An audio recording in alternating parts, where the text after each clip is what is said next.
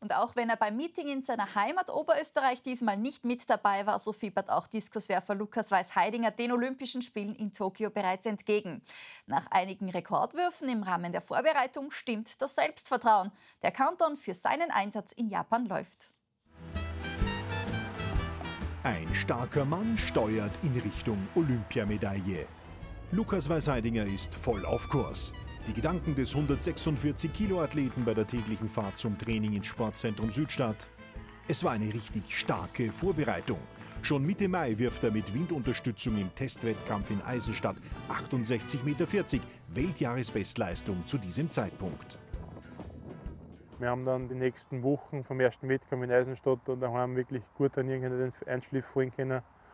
Und bin dann mit einem Wettkampf in die Saison gestartet, wo nicht nur der 68er für mich da steht, sondern auch die 367er hinten noch, die es mir irrsinnig großes Selbstvertrauen geben für die Saison. Ja, besser kann ich nicht in die Saison starten.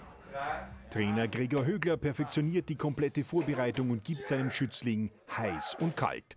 Schwitzen, und frieren bei minus 110 Grad in der Kältekammer, um die entscheidenden Zentimeter herausholen zu können. Für uns ist die Kältekammer aus Athletensicht jetzt ähm, extrem fördernd für die Regeneration. Man glaubt das gar nicht, was so drei Minuten in der Kältekammer ist, auch richtig, man fühlt sich danach ähm, fürs nächste extrem frisch. Und das ist der springende Punkt. Wir müssen immer schauen, dass wir die Qualität im Training, aber wenn wir zwei Trainings am Tag haben, immer möglichst hochholen können. 10.000 Würfe pro Jahr werden genau analysiert. Dazu wird ein neues Biomechanik-Tool finanziert vom Sportministerium genutzt. Acht Kameras und eine Spezialsoftware zerlegen die Bewegungsabläufe und Winkel und ersparen viel Zeit. Aus der Biomechanik kennen wir wirklich die ganzen Bewegungen. Wie passt die linke Schulter zum, zur rechten Hüften? Und vor allem das Wichtige ist, was man mit freiem Auge nicht sehen, wo sind die Schwerpunkte im Wurf? Und für mich ist es extrem wichtig. Wir haben einfach auf Wissen gesetzt.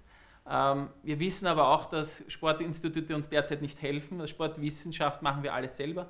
Deswegen sind unsere Trainer schon eigentlich die Sportwissenschaftler auch schon. Und wir haben so ein starkes Team und nehmen international natürlich alles, was wir kriegen können. Wissenschaft Weite, die liefert der Inviertler Anfang Juni bei seinem Meeting-Sieg in Eisenstadt. 69,04 Meter sind österreichischer Rekord. Der ist auch notwendig, denn die internationale Konkurrenz hat heuer bereits über 70 Meter weit geworfen.